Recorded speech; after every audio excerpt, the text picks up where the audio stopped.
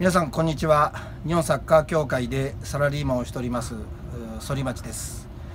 えー、J リーグ加入10周年おめでとうございます。そして、えー、アルウィン、えー、20周年ということで、えー、それも合わせておめでとうございます。